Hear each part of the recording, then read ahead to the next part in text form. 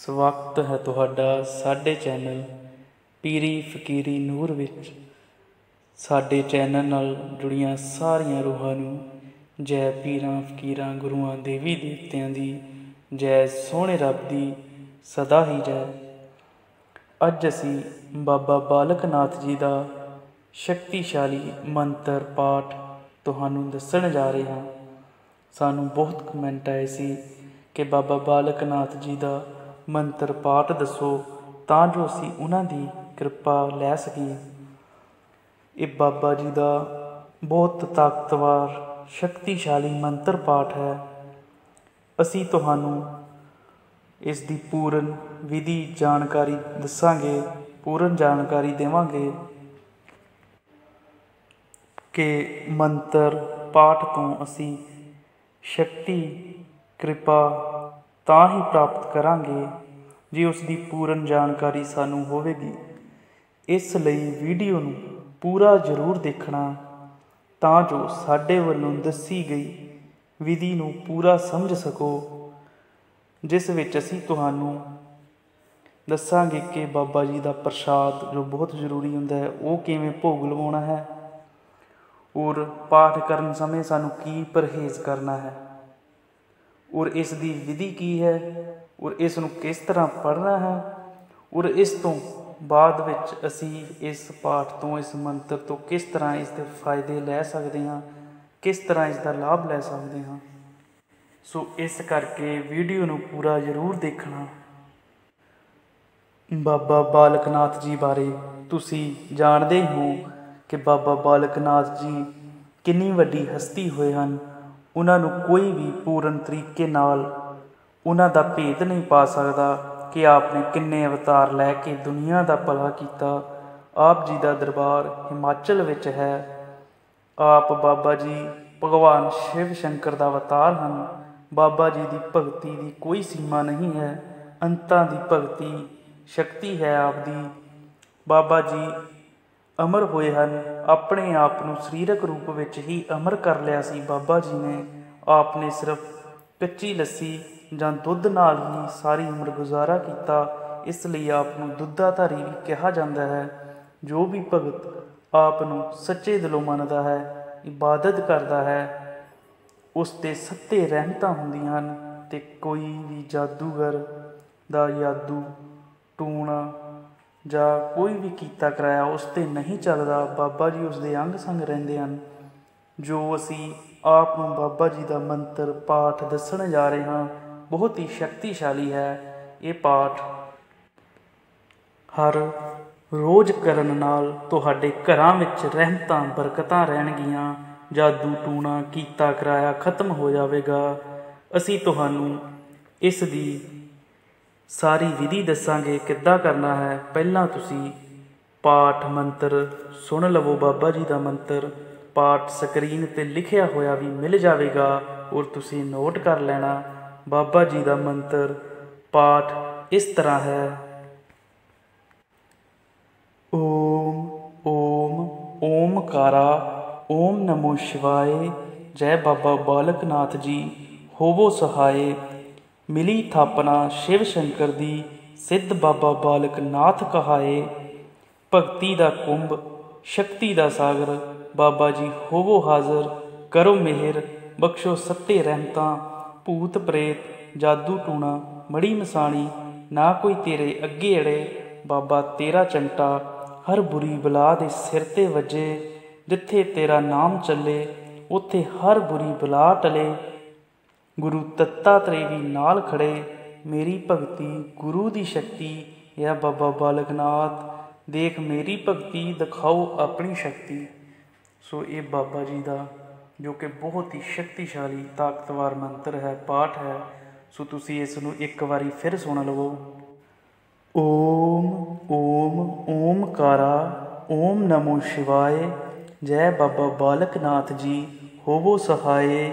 ਮਿਲੀ ਥਾਪਨਾ ਸ਼ਿਵ ਸ਼ੰਕਰ ਦੀ, ਸਿੱਧ ਬਾਬਾ ਬਾਲਕ ਨਾਥ ਕਹਾਏ, ਭਗਤੀ ਦਾ ਕੁੰਭ, ਸ਼ਕਤੀ ਦਾ ਸਾਗਰ, ਬਾਬਾ ਜੀ ਹੋਵੋ ਹਾਜ਼ਰ, ਕਰੋ ਮਿਹਰ, ਬਖਸ਼ੋ ਸੱਤੇ ਰਹਿਮਤਾਂ, ਭੂਤ ਪ੍ਰੇਤ, ਜਾਦੂ ਟੂਣਾ, ਮੜੀ ਮਸਾਣੀ, ਨਾ ਕੋਈ ਤੇਰੇ ਅੱਗੇ ਅੜੇ, ਬਾਬਾ ਤੇਰਾ ਚਮਟਾ, ਹਰ ਬੁਰੀ ਬਲਾ ਦੇ ਸਿਰ ਤੇ ਵੱਜੇ।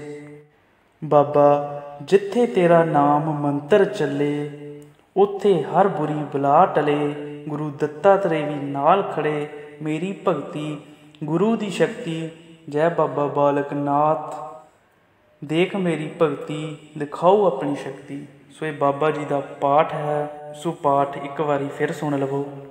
ਓਮ ਓਮ, ਓਮਕਾਰਾ, ਓਮ ਨਮੋ ਸ਼ਿਵਾਏ, ਜੈ ਬਾਬਾ ਬਾਲਕਨਾਥ ਜੀ ਹੋਵੋ ਸਹਾਇ ਮਿਲੀ ਥਾਪਨਾ ਸ਼ਿਵ ਸ਼ੰਕਰ ਦੀ ਸਿੱਧ, ਬਾਬਾ ਬਾਲਕਨਾਥ ਕਾ ਭਗਤੀ ਦਾ ਕੁੰਭ ਸ਼ਕਤੀ ਦਾ ਸਾਗਰ।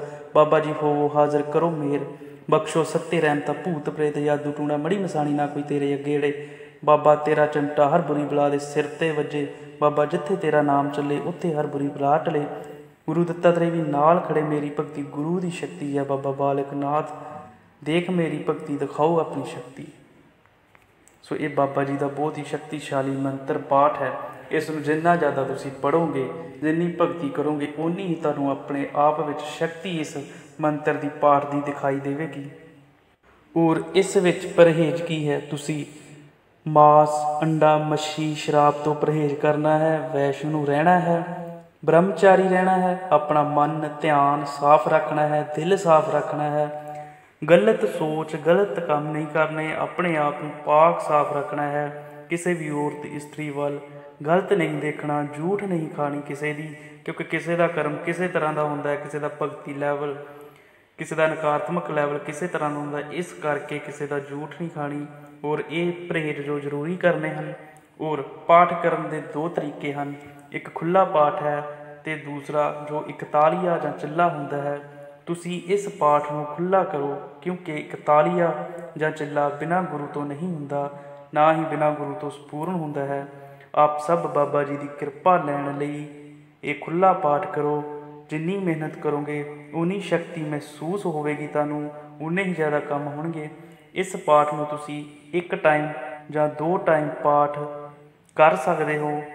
ਇਸ ਨੂੰ ਤੁਸੀਂ ਸਵੇਰੇ ਸ਼ਾਮ ਵੀ ਕਰ ਸਕਦੇ ਹੋ।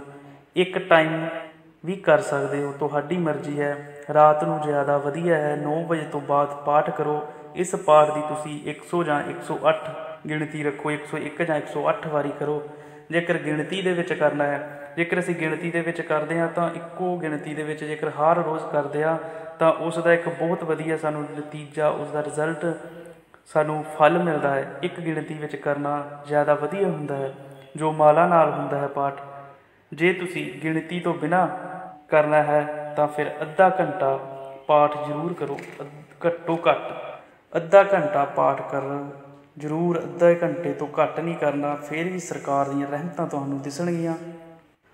ਔਰ ਤੁਸੀਂ 1 ਘੰਟਾ 2 ਘੰਟੇ ਵੀ ਕਰ ਸਕਦੇ ਹੋ। ਜਿੰਨਾ ਕਰੋਗੇ ਉਨਾ ਫਲ ਮਿਲੇਗਾ ਔਰ ਘਰ ਵਿੱਚ। ਕਰਨ ਤੋਂ ਪਹਿਲਾਂ, ਜਦੋਂ ਵੀ ਤੁਸੀਂ ਘਰ ਵਿੱਚ ਇਸ ਪਾਠ ਨੂੰ ਸ਼ੁਰੂ ਕਰਨਾ ਹੈ, ਜਿਸ ਵੀ ਕਮਰੇ ਵਿੱਚ ਬੈਠ ਕੇ ਕਰਨਾ ਹੈ, ਤਾਂ ਪਹਿਲਾਂ 15-20 ਮਿੰਟ ਬਾਬਾ ਬਾਲਕਨਾਥ ਜੀ ਦਾ ਧਿਆਨ ਧਰ ਕੇ ਬਾਬਾ ਜੀ ਨੂੰ ਯਾਦ ਕਰੋ, ਇਹ ਬਾਬਾ ਬਾਲਕਨਾਥ ਜੀ, ਇਹ ਬਾਬਾ ਬਾਲਕਨਾਥ ਜੀ ਇਸ ਤਰ੍ਹਾਂ 20 ਮਿੰਟ ਇਬਾਦਤ ਕਰੋ ਬਾਬਾ ਬਾਲਕ ਨਾਥ ਜੀ ਦੀ ਔਰ ਉਹਨਾਂ ਦਾ ਧਿਆਨ ਤੁਹਾਡੇ ਵੱਲ ਆਕਰਸ਼ਿਤ ਹੋ ਜਾਵੇਗਾ, ਸਰਕਾਰਾਂ ਨੂੰ ਪਤਾ ਲੱਗ ਜਾਵੇਗਾ ਕਿ ਕੋਈ ਸਾਡੀ ਇਬਾਦਤ ਕਰ ਰਿਹਾ ਹੈ। ਸੋ 20 ਮਿੰਟ ਇਸ ਤਰ੍ਹਾਂ ਜ਼ਰੂਰ ਕਰੋ, ਫਿਰ ਮੰਤਰ ਜਾਪ ਸ਼ੁਰੂ ਕਰ ਦਿਓ। ਮੰਤਰ ਜ਼ੁਬਾਨੀ ਯਾਦ ਕਰ ਲਿਓ। ਜਦੋਂ ਯਾਦ ਹੋ ਜਾਵੇਗਾ, ਫਿਰ ਅੱਖਾਂ ਬੰਦ ਕਰਕੇ ਜਦੋਂ ਵੀ ਬੈਠਣਾ ਹੈ, ਅੱਖਾਂ ਬੰਦ ਕਰਕੇ ਜਾਪ ਕਰਨਾ ਹੈ। ਔਰ ਜਿਸ ਕਮਰੇ ਵਿੱਚ ਤੁਸੀਂ ਬੈਠਣਾ ਹੈ, ਜ਼ਮੀਨ ਤੇ ਬੈਠ ਕੇ ਜਾਪ ਕਰਨਾ ਹੈ, ਜ਼ਿਆਦਾ ਫਲ ਮਿਲੇਗਾ ਜ਼ਮੀਨ ਤੇ ਬੈਠ ਕੇ ਜੇਕਰ ਅਸੀਂ ਪਾਠ ਕਰਦੇ ਹਾਂ। ਔਰ ਕਮਰੇ ਵਿੱਚ ਪਹਿਲਾਂ ਕੱਚੀ ਲੱਸੀ ਦਾ ਛੱਟਾ ਦੇਣਾ ਹੈ। ਇੱਕ ਗਲਾਸ ਪਾਣੀ ਲੈ ਕੇ ਉਸ ਵਿੱਚ ਥੋੜਾ ਦੁੱਧ ਪਾ ਕੇ ਕੱਚੀ ਲੱਸੀ ਬਣ ਜਾਵੇਗੀ। ਕੱਚੀ ਲੱਸੀ ਦਾ ਛੱਟਾ ਦੇ ਕੇ ਔਰ ਫਿਰ ਜੋ ਗਲਾਸ ਹੈ, ਆਪਣੇ ਕੋਲ ਰੱਖ ਲਵੋ। ਜਦੋਂ ਜ਼ਮੀਨ ਤੇ ਬੈਠਣਾ ਹੈ ਫਿਰ ਕੱਚੀ ਲੱਸੀ ਵਾਲਾ ਗਲਾਸ ਆਪਣੇ ਕੋਲ ਰੱਖ ਕੇ ਫਿਰ ਪਾਠ ਸ਼ੁਰੂ ਕਰ ਦਿਓ। ਪਾਠ ਸਪੂਰਨ ਹੋਣ ਤੋਂ ਬਾਅਦ ਕੱਚੀ ਲੱਸੀ ਪੀ ਸਕਦੇ ਹੋ, ਉਸ ਦਾ ਛੱਟਾ ਵੀ ਦੇ ਸਕਦੇ ਹੋ। ਔਰ ਜੋ ਇਸ ਵਿੱਚ ਪ੍ਰਸ਼ਾਦ, ਕਿਉਂਕਿ ਪ੍ਰਸ਼ਾਦ ਹਰ ਦੇਵੀ ਦੇਵਤੇ ਲਈ ਬਹੁਤ ਜ਼ਰੂਰੀ ਹੈ, ਪ੍ਰਸ਼ਾਦ ਦੇ ਕੇ ਹੀ ਅਸੀਂ ਕੰਮ ਕਰਦੇ ਹਾਂ। ਦੇਵੀ ਦੇਵਤੇ ਜਿੰਨੇ ਵੀ ਹਨ, ਫੇਰ ਹੀ ਉਹ ਸਾਡੀ ਸਹਾਇਤਾ ਕਰਦੇ ਹਨ, ਕਿਉਂਕਿ ਕੋਈ ਵੀ ਰੂਹ ਜਾਂ ਦੇਵੀ ਦੇਵਤਾ ਜਾਂ ਇਨਸਾਨ ਭੁੱਖਾ ਕੰਮ ਨਹੀਂ ਕਰਦਾ। ਇਸ ਲਈ ਪ੍ਰਸ਼ਾਦ ਬਹੁਤ ਜ਼ਰੂਰੀ ਹੈ। ਇਸ ਵਿੱਚ ਤੁਸੀਂ ਐਤਵਾਰ ਨੂੰ ਦੋ ਰੋਟ, ਪੰਜ ਲੱਡੂ, ਪਾਠ ਪੜਨ ਵੇਲੇ ਆਪਣੇ ਕੋਲ ਰੱਖਣੇ ਹਨ। ਤੇ ਬਾਬਾ ਜੀ ਨੂੰ ਯਾਦ ਕਰਨਾ ਹੈ, ਬਾਬਾ ਜੀ ਆਪਣਾ ਭੋਗ ਪ੍ਰਸ਼ਾਦ ਮਨਜ਼ੂਰ ਕਰੋ, ਆ ਕੇ ਭੋਗ ਲਾਓ। ਪੰਜ ਲੱਡੂ, ਦੋ ਰੋਟ। ਰੋਟ ਮਿੱਠੀਆਂ ਰੋਟੀਆਂ ਹੁੰਦੀਆਂ ਜੋ ਖੰਡ ਪਾ ਕੇ ਪਕਾਈਆਂ ਹੁੰਦੀਆਂ ਜਿਸ ਨੂੰ ਮੰਨੀ ਵੀ ਕਹਿੰਦੇ ਹਨ। ਫਿਰ ਆਪਣੇ ਸਾਹਮਣੇ ਰੱਖ ਕੇ ਪਾਠ ਕਰਨਾ ਸ਼ੁਰੂ ਕਰ ਦਿਓ। ਪਾਠ ਸੰਪੂਰਨ ਹੋਣ ਤੋਂ ਬਾਅਦ ਉਸ ਨੂੰ ਅਗਲੇ ਦਿਨ ਵੰਡ ਕੇ ਛਕ ਲਓ। ਪੰਛੀਆਂ ਨੂੰ ਵੀ ਪਾ ਸਕਦੇ ਹੋ। ਇਹ ਭੋਗ ਸੱਤ ਐਤਵਾਰ ਦੇਣਾ ਹੈ। ਬਾਅਦ ਵਿੱਚ ਆਪਣੀ ਖੁਸ਼ੀ ਹੈ, ਇਹ ਦੇਵੀ ਦੇਵਤੇ ਦਾ ਭੋਗ ਤੁਸੀਂ ਜਿੰਨਾ ਜ਼ਿਆਦਾ ਦੋਗੇ ਉਨਾ ਹੀ ਵਧੀਆ ਹੈ, ਕਿਉਂਕਿ ਦੇਵੀ ਦੇਵਤੇ ਭੋਗ ਲੈ ਕੇ ਹੀ ਕਾਰਜ ਕੰਮ ਕਰਦੇ ਹਨ। ਫਿਰ ਬਾਅਦ ਵਿੱਚ ਤੁਹਾਡੀ ਖੁਸ਼ੀ ਹੈ, ਦੇਣਾ ਹੈ ਜਾਂ ਨਹੀਂ। ਕਿਉਂਕਿ ਹਰ ਦੇਵੀ ਦੇਵਤਾ ਭੋਗ ਲੈ ਕੇ ਹੀ ਫੇਰ ਹੀ ਮੰਤਰ ਪਾਠ ਸਾਡੇ ਕੰਮ ਕਰਦੇ ਹਨ। ਪਾਠ ਸ਼ੁਰੂ ਕਰਨ ਤੋਂ ਪਹਿਲਾਂ ਤੁਸੀਂ ਕੀ ਕਰਨਾ ਹੈ ਕਿ ਪਾਠ ਸ਼ੁਰੂ ਕਰਨ ਤੋਂ ਇੱਕ ਦਿਨ ਪਹਿਲਾਂ ਜਾਂ ਉਸ ਦਿਨ ਪਾਠ ਸ਼ੁਰੂ ਕਰਨ ਵਾਲੇ ਦਿਨ ਬਾਬਾ ਜੀ ਦਾ ਕੋਈ ਵੀ ਮੰਦਰ, ਬਾਬਾ ਬਾਲਕ ਨਾਥ ਜੀ ਦਾ ਕੋਈ ਵੀ ਮੰਦਰ ਤੁਹਾਡੇ ਲਾਗੇ ਕਿਸੇ ਵੀ ਪਿੰਡ ਜਾਂ ਸ਼ਹਿਰ ਦੇ ਆਸ-ਪਾਸ ਹੈ, ਉੱਥੇ ਜਾਣਾ ਹੈ। ਉੱਥੇ ਸਵਾ ਮੀਟਰ ਲਾਲ ਕੱਪੜਾ, ਸਵਾ ਕਿਲੋ ਲੱਡੂ ਦਾ ਭੋਗ ਲਾਉਣਾ ਹੈ। ਸਵਾ ਮੀਟਰ ਲਾਲ ਕੱਪੜਾ ਜੋ ਬਾਬਾ ਜੀ ਦਾ ਲੰਗੋਟ ਹੁੰਦਾ ਹੈ, ਉਸ ਵਾਸਤੇ ਔਰ ਔਰ ਸਵਾ ਕਿਲੋ ਲੱਡੂ ਬਾਬਾ ਜੀ ਦੇ ਦਰਬਾਰ ਤੇ ਚੜਾ ਕੇ ਅਰਦਾਸ ਕਰਨੀ ਹੈ, ਬਾਬਾ ਜੀ, ਭੋਗ ਮਨਜ਼ੂਰ ਕਰੋ। ਮੈਂ ਤੁਹਾਡਾ ਪਾਠ ਜਾਪ ਮੰਤਰ ਸ਼ੁਰੂ ਕਰਨ ਲੱਗਾ ਹਾਂ ਜਾਂ ਲੱਗੀ ਹਾਂ ਔਰ ਮੈਨੂੰ ਇਸ ਬਾਰੇ ਕੁਝ ਨਹੀਂ ਪਤਾ। ਮੈਂ ਸਿਰਫ ਇੱਕ ਭਗਤੀ ਭਾਵਨਾ ਤੁਹਾਡੇ ਮੰਤਰ ਇਸ ਯਾਪ ਨੂੰ ਸ਼ੁਰੂ ਕਰਨ ਜਾ ਰਿਹਾ ਹਾਂ। ਮੈਨੂੰ ਕਾਮਯਾਬੀ ਬਖਸ਼ਣਾ, ਜੇਕਰ ਕੋਈ ਗਲਤੀ ਭੁੱਲ ਚੁੱਕ ਹੋਵੇ, ਮੈਨੂੰ ਮਾਫ ਕਰਨਾ ਔਰ ਸਰਕਾਰ ਹਾਜ਼ਰ ਨਾਜ਼ਰ ਰਹਿਣਾ, ਇਹ ਅਰਦਾਸ ਕਰਕੇ ਤੁਸੀਂ ਆਪਣੇ ਘਰ ਆ ਜਾਣਾ ਹੈ। ਇਸ ਤਰ੍ਹਾਂ ਆਗਿਆ ਲੈ ਕੇ ਸ਼ੁਰੂ ਕਰ ਦਿਓ ਪਾਠ ਨੂੰ। ਬਾਅਦ ਵਿੱਚ ਜਦੋਂ 41 ਦਿਨ ਤੁਸੀਂ ਪਾਠ ਨੂੰ ਪੜ੍ਹ ਲਿਆ, ਪਾਠ ਦਾ ਜਾਪ ਕਰ ਲਿਆ 41 ਦਿਨ ਤਾਂ 41 ਦਿਨਾਂ ਤੋਂ ਬਾਅਦ ਤੁਸੀਂ ਆਪਣਾ ਤੇ ਆਪਣੇ ਪਰਿਵਾਰ ਦਾ ਭਲਾ ਕਰ ਸਕਦੇ ਹੋ। ਇਹ ਨਹੀਂ ਕਿ ਤੁਸੀਂ ਬਾਹਰ ਕੰਮ ਕਰਨਾ ਸ਼ੁਰੂ ਕਰ ਦੇਣਾ, ਲੋਕਾਂ ਦਾ ਭਲਾ ਕਰਨਾ ਸ਼ੁਰੂ ਕਰ ਦੇਣਾ, ਨਹੀਂ। ਉਹ ਚੀਜ਼ ਗੁਰੂ ਦੇ ਅੰਡਰ ਵਿੱਚ ਰਹਿ ਕੇ ਹੁੰਦੀ ਹੈ। ਇਸ ਕਰਕੇ ਤੁਸੀਂ ਆਪਣਾ ਤੇ ਸਿਰਫ ਆਪਣੇ ਪਰਿਵਾਰ ਦਾ ਭਲਾ ਕਰ ਸਕਦੇ ਹੋ ਇਸ ਪਾਠ ਨਾਲ। 41 ਦਿਨ ਬਾਅਦ ਵੀ ਪਾਠ ਬੰਦ ਨਹੀਂ ਕਰਨਾ। ਇਹ ਪਾਠ ਹਰ ਰੋਜ਼ ਕਰਦੇ ਰਹੋ। ਬਾਬਾ ਜੀ ਹਮੇਸ਼ਾ ਤੁਹਾਡੇ ਅੰਗ ਸੰਗ ਰਹਿਣਗੇ। ਹੁਣ ਦੇਖੋ ਕਿ ਤੁਸੀਂ ਮੰਤਰ ਪਾਠ ਤੋਂ ਇਸ ਦਾ ਫਾਇਦਾ ਕਿੱਦਾਂ ਲੈਣਾ ਹੈ ਇਸ ਦਾ ਲਾਭ ਕਿੱਦਾਂ ਲੈਣਾ ਹੈ। ਇੱਕ ਗਲਾਸ ਪਾਣੀ ਲੈ ਕੇ, ਪਾਣੀ ਤੁਸੀਂ ਵੱਧ ਵੀ ਲੈ ਸਕਦੇ ਹੋ, ਆਪਣੇ ਹਿਸਾਬ ਨਾਲ ਕਿਸੇ ਵੀ ਭਾਂਡੇ ਵਿੱਚ ਲੈ ਸਕਦੇ ਹੋ। ਇੱਕ ਗਲਾਸ ਪਾਣੀ ਲੈ ਕੇ ਮੂੰਹ ਤੇ ਕੋਲ ਕਰ ਲਵੋ। ਪਾਣੀ ਤੇ 21 ਵਾਰੀ ਇਹ ਮੰਤਰ ਪਾਠ ਪੜ੍ਹ ਕੇ ਪਾਣੀ ਵਿੱਚ ਪੰਜ ਫੂਕਾਂ ਮਾਰੋ ਉਸੇ ਵੇਲੇ। ਤਾਂ ਫਿਰ ਉਹ ਪਾਣੀ ਨਹੀਂ ਬਾਬਾ ਜੀ ਦਾ ਜਲ ਬਣ ਜਾਵੇਗਾ, ਕਿਉਂਕਿ ਉਸ ਮੰਤਰ ਦਾ ਅਸਰ ਪਾਣੀ ਦੇ ਵਿੱਚ ਚਲਾ ਜਾਵੇਗਾ, ਉਹ ਜਲ ਬਣ ਜਾਵੇਗਾ। ਫਿਰ ਉਸ ਨੂੰ ਪੀਓ ਤਿੰਨ ਟਾਈਮ, ਇਸ਼ਨਾਨ ਕਰੋ, ਘਰ ਵਿੱਚ ਛਿੱਟਾ ਦਿਓ, ਬੁਰੀਆਂ ਬਲਾਵਾਂ ਤੋਂ ਤੁਹਾਡਾ ਘਰ ਬਚਿਆ ਰਹੇਗਾ। ਔਰ ਤੁਸੀਂ ਵੀ, ਤੁਸੀਂ ਇਸ ਨੂੰ, ਤੁਸੀਂ ਜੇਕਰ ਤੁਹਾਡੇ ਕੋਲ ਟਾਈਮ ਹੈ ਤਾਂ ਇਹ ਬਾਬਾ ਜੀ ਦਾ 101 ਵਾਰੀ ਪਾਠ ਪੜ੍ਹ ਕੇ ਫਿਰ ਯਲ ਬਣਾ ਲਓ। ਜੇਕਰ ਤੁਹਾਨੂੰ ਜ਼ਿਆਦਾ ਜਲਦੀ ਹੈ ਟਾਈਮ ਨਹੀਂ ਹੈ, ਫਿਰ 21 ਵਾਰ ਪੜ੍ਹ ਲਓ। ਜਿੰਨਾ ਜ਼ਿਆਦਾ ਪੜਾਂਗੇ ਉਨਾ ਹੀ ਜ਼ਿਆਦਾ ਵਧੀਆ ਹੈ। 101 ਵਾਰੀ ਪੜਨ ਨਾਲ ਜਲ ਇੱਕ ਬੋਤਲ ਲੈ ਲਓ, ਉਸ ਵਿੱਚ ਜਲ ਬਣਾ ਲਓ। 121 ਵਾਰੀ ਪੜ੍ਹ ਕੇ ਫਿਰ ਉਸ ਤੇ ਫੂਕਾਂ ਮਾਰੋ। ਪੰਜ ਫੂਕਾਂ ਔਰ ਉਹ ਜਲ ਬਣ ਜਾਵੇਗਾ। ਫਿਰ ਤੁਸੀਂ ਜੇਕਰ ਬਿਮਾਰ ਹੋ ਕੀਤਾ, ਕਰਾਇਆ ਕੁਛ ਵੀ ਹੈ, ਘਰ ਵਿੱਚ ਤਿੰਨ ਟਾਈਮ ਉਸ ਦਾ ਛੱਟਾ ਦਿਓ। ਉਸ ਜਲ ਨੂੰ ਪਾਣੀ ਦੇ ਵਿੱਚ ਪਾ ਕੇ ਇਸ਼ਨਾਨ ਕਰੋ। ਔਰ ਉਸ ਜਲ ਨੂੰ ਤਿੰਨ ਟਾਈਮ ਤੁਸੀਂ ਪੀਓ। ਤੁਹਾਡੇ ਅੰਦਰ ਜੋ ਵੀ ਨੈਗੇਟਿਵਿਟੀ ਹੈ ਬਾਹਰ ਆ ਜਾਵੇਗੀ, ਘਰ ਦੇ ਵਿੱਚ ਨੈਗੇਟਿਵਿਟੀ ਹੈ ਬਾਹਰ ਦੌੜ ਜਾਵੇਗੀ ਔਰ ਇਸ਼ਨਾਨ ਕਰਨ ਨਾਲ ਪੂਰਾ ਸਰੀਰ ਠੀਕ ਹੋ ਜਾਵੇਗਾ। ਸੋ ਇਸ ਤਰ੍ਹਾਂ ਹਰ ਰੋਜ਼ ਕਰੋ, ਹਰ ਰੋਜ਼ ਲਗਾਤਾਰ ਕਰੀ ਜਾਓ, ਹੌਲੀ ਹੌਲੀ ਹੌਲੀ ਹੌਲੀ। ਜੋ ਵੀ ਭੂਤ, ਪ੍ਰੇਤ ਜਾਂ ਕੀਤੇ ਕਰਾਏ ਦਾ ਅਸਰ ਹੈ, ਖਤਮ ਹੋ ਜਾਵੇਗਾ। ਇਹ ਤੁਸੀਂ ਲਗਾਤਾਰ ਹੀ ਕਰਦੇ ਰਹੋ। ਤਾਂ ਜੋ ਜਾਂ ਕੋਈ ਤੁਹਾਡੇ ਤੇ ਕੋਈ ਮੰਤਰ ਜਾਂ ਜਾਦੂ ਟੂਣਾ ਕਰਦਾ ਹੈ, ਤਾਂ ਉਸ ਦੀ ਨਾਲੋਂ ਨਾਲ ਹੀ ਕਾਟ ਹੁੰਦੀ ਰਹੇਗੀ। ਹਰ ਰੋਜ਼ ਇਸ ਤਰ੍ਹਾਂ ਕਰੋ ਔਰ ਤੁਸੀਂ ਬਚੇ ਰਹੋਗੇ। ਔਰ ਇਹ ਮੰਤਰ ਪਾਠ ਬਹੁਤ ਹੀ ਜ਼ਿਆਦਾ ਸ਼ਕਤੀਸ਼ਾਲੀ ਹੈ। ਔਰ ਇਸ ਵਿੱਚ ਤੁਹਾਡਾ ਸੱਚਾ ਮਨ, ਸੱਚੀ ਲਗਨ, ਸੱਚਾ ਵਿਸ਼ਵਾਸ ਹੋਣਾ ਚਾਹੀਦਾ ਹੈ।